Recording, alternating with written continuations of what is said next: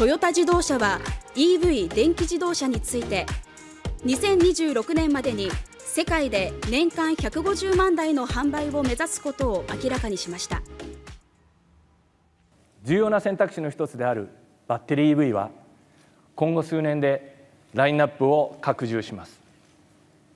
普及期に向けた次世代バッテリー EV の開発。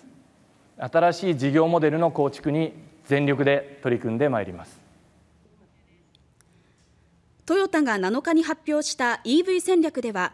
2026年までに新たに10モデルを投入し